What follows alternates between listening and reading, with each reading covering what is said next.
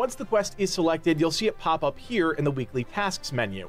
Now players across the guild can accept the quest. Wait, I can send my own guild members on quests?